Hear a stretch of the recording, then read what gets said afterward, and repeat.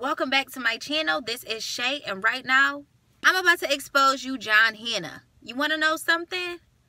If i don't tell you nothing else and if you don't get anything else from this video because i'm trusting that the lord will show you. Let this come across your screen because i'm about to light into you. The people of god are not for sale. Let me tell you something. I went on your Instagram page and you had the audacity to be selling $25 prayer scarves to the people of God and you did not die on the cross for these people? You haven't shed blood. You weren't spit on. You weren't beat up. How dare you? Listen to what listen to wisdom. Really, really quickly, John Hannah. Okay, if you want to sell a product, it's called get a DBA. It's called start a business. It's not called go to the people of God and sell some fake scarf.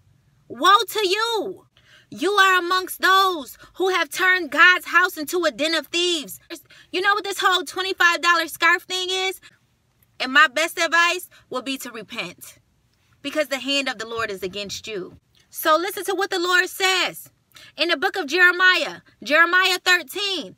The Lord told his prophet, he said, go and get a linen cloth. Take this cloth and wrap it around your waist. The Lord went to him a second time. He said, take it off your waist and go bury it. He said, okay, Lord, I'll go bury it. He went to go bury it. Guess what? It said after a period of time, the Lord went back to Jeremiah the third time and said, go dig it up. This is the part that crazy. This is the part that's for you. He said when he dug it up, he said, Lord, it's ruined. Guess what? That's what's going to happen to you. That's what he's going to do to you. Because verse 10 says that that's what he does to people. So you and your cloth, woe unto you.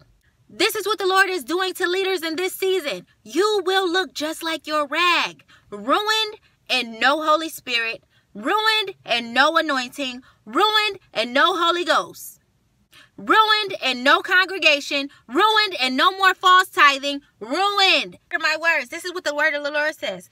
It says, the evil people who refuse to hear my words, who follow their dictates of their own hearts and walk after other gods and serve them and worship them, shall be just like the sash. Hello, just like that, that sash you're wearing?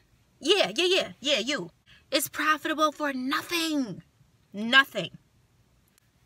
All right, you guys, this video is over. Woo! This one took me there today. I got time today. We on quarantine? Oh, I got time. But you know what? There's room. There's still room for you at the feet of Jesus. Repent. Turn from your wicked ways. Get in front of your church humbly. Get on live on live stream humbly and say, "Listen, I am so sorry. I didn't I didn't think that I was turning God's house into a den of thieves, but it turns out that I was." Humble yourself. God is humbling those who exalt themselves. And sir, where did the profit go? Where did the profit go from them scarves? Did it go in your pocket? Uh, uh, for a gospel that you didn't die for? Woe unto the people. And then y'all can't understand why coronavirus is here. It's for people like you, sir. For people like you that try to pimp the people. You selling them some fake unanointed scarves? Don't you know that only the Holy Spirit can can answer prayers? Only the Holy Spirit can heal.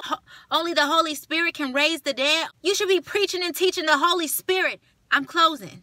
Start a business. Stop trying to pimp God's people. These people don't belong to you and woe unto you. God bless y'all. I'll be back with another video.